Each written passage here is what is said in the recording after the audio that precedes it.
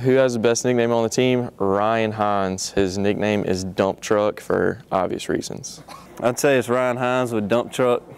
Uh, it fits him well.